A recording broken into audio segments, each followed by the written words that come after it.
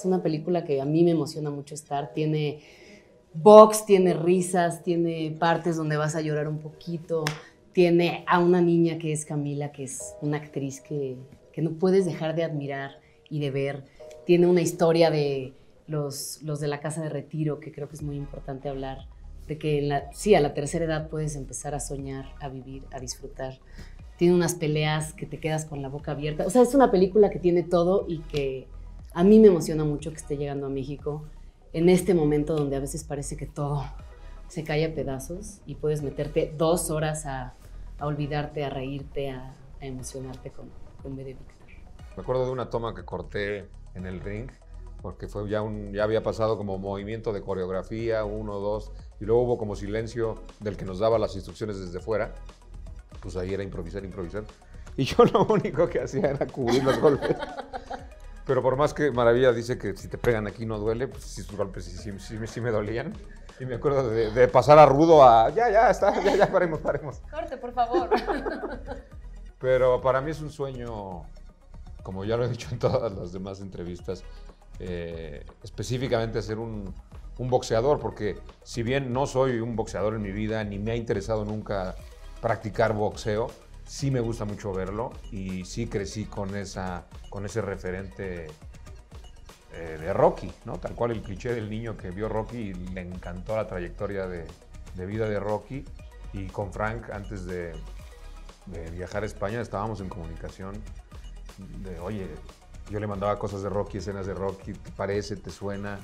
Y, Frank siempre abierto a, pues, podemos, sea, una vez podemos ahí meter esos guiñitos, lo cual a mí me hizo, como te digo, feliz como esta ilusión infantil de un sueño cumplido. Yo pienso que B de Víctor tiene muchos valores, tiene, como decía, un elenco tan variado, tiene como tres, eh, tres franjas de edad, que muy pocas películas eh, tiene eso y sobre todo para toda la gente que, que, la vea, es para todos los públicos, es para la familia. La pueden ver niños, la pueden ver personas normales, la pueden ver personas mayores y sobre todo los valores que tiene, que es lo que digo, la superación, el amor, el apoyo, eh, una madre que se desvive por su hijo, una niña que ve a su padre como un superhéroe o, o su padre que quiere ser el superhéroe de su hija. Todas esas cosas a día de hoy se pierden un poco y es bueno recordarle a la gente que es el motor de la vida. Entonces, eh, por eso motivamos y queremos que todo el mundo la vaya a ver porque no se van a arrepentir. A ver, crochet, crochet. ¡Ah! Ya, ya, ya, sonó la campana, sonó la campana. No te escucho, no te escucho. A mí me hicieron soldado. General, me estoy quemando. Vamos, vamos, vamos, más rápido entonces. Se mezclan dos cosas, se mezcla la diversión al ejecutar las escenas. O sea, yo soy actor porque me divierte ser actor.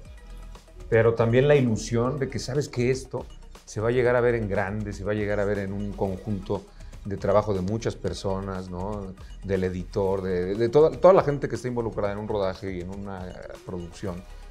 Cuando Frank a mí me dice, por ejemplo, oye, se, se me está ocurriendo que, que, corras en las dunas ahí, pero pues vas a tener que llegar ahí un poco solo porque si yo te llevo a alguien que te acompañe, tengo que esperar a que esa persona salga, que me salga de cuadro porque el cuadro va a ser así.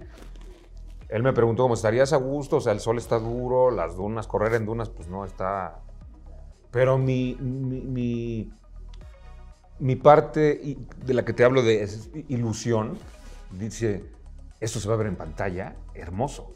Y eso es Rocky, en Rocky 4, corriendo, cuando va contra Drago, subiendo la montaña de nieve, y, dice, y dije, o sea, yo quiero ver eso, o sea, quiero que mi familia vea eso, que la gente vea eso.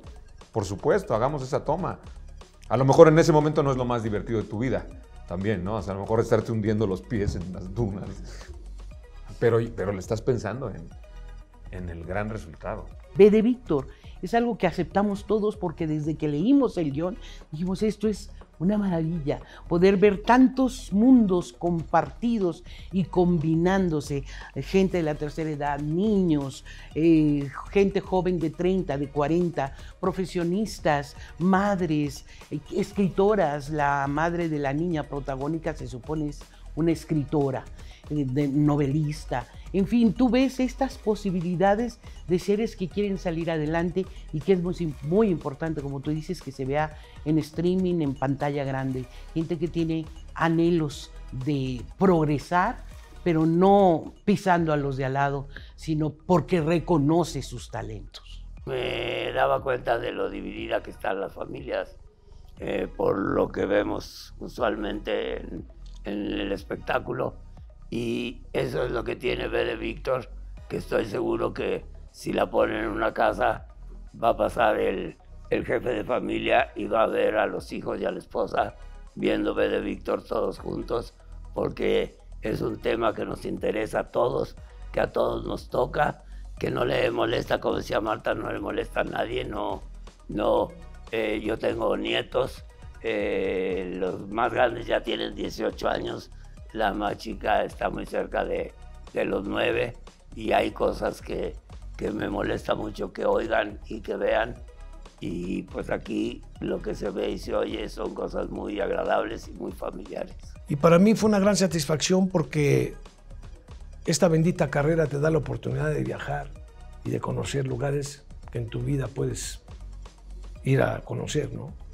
Y además la, la historia de cómo se manejan los valores, de que cuando tú tienes un objetivo de lograr algo, lo puedes lograr, porque todo se puede lograr. La magia te lleva al éxito y sobre todo cuando te apoya la gente, ¿no? Entonces en este proyecto tan interesante como es B de Víctor, se ve reflejado eso, se ve la comedia, se ve la unión, se ve la familia, se ve la madre, la hija, el hijo, se ve, todo eso viene mezclado.